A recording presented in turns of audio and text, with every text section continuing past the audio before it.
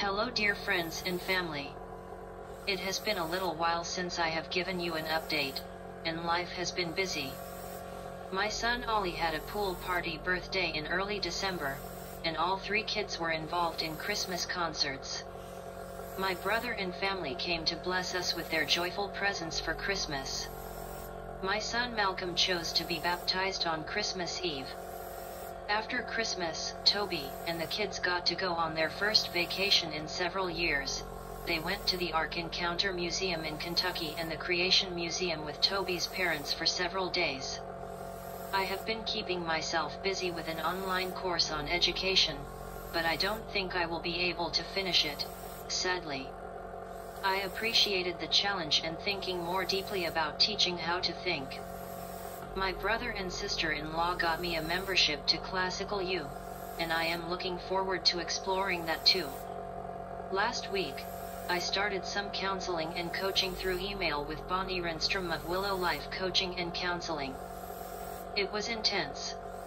I enjoyed the sessions, found them helpful, and look forward to doing it again in a few weeks. I found Bonnie online. She doesn't usually offer services through email, but she was willing to make an exception due to my communication limitations. I'm thankful that she took that risk.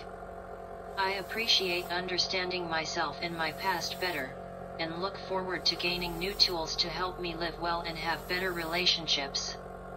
Lately, I have been making sure we are prepared in the event of my death. I bought my casket, and I have been trying to find a place that would do a sculpture for my headstone. If any of you have leads, please share. We still need to buy our plots, it will be in the same country graveyard as Toby's great grandparents near where we used to live before I got ALS. To some people, this type of planning might seem morbid, but we all have an expiry date and I like having things organized. It makes me feel good to not have loose ends. What I have been pouring myself into over the past few weeks has been making books for each of my kids. The books will have lots of photos, and I just finished collecting them. I start with their birth stories, what qualities I see in them in particular, spiritual advice, general advice, and then I will close with my hopes for their lives. I'm excited to finish and give my kids their own books.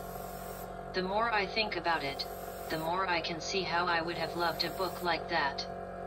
I think everyone would benefit from such books. I'm excited to hopefully finish in the next few months. I promised my Facebook friend Celine Icking that I would say hello in an update. Hello Celine. I hope you are doing well. And, because I haven't been busy enough, I am attending Tony Robbins' Time to Rise Up free live streamed conference for the next few days from 1 to 4 p.m. Central U.S. Time. I'm looking forward to hearing his ideas on how to live my best life. Fun times. Through all of this, I have found that it is becoming more and more difficult to open my eyes at night, and I have had junk clouding my eyes that needs to be wiped away every few hours or it impedes my vision. If my eyelid muscles continue to deteriorate, that will strongly affect my quality of life as I will not be able to communicate my needs so that I stay comfortable, and I will be unable to interact with the people I love that surround me.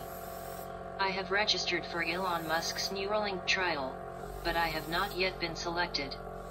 So I hope to explore the capabilities of OpenBCI. I like their non-invasive system. Hopefully it is powerful enough to enable communication.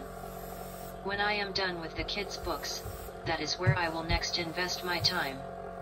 If you are looking for someone to pray for, pray that God would allow the newly transplanted heart of baby Gus to work strongly and inflammation in his body to reduce so that he can endure coming off ECMO. If you want to follow Gus' progress, you can find at Mark underscore Schubert on Twitter.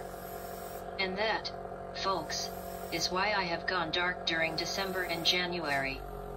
I've been super busy.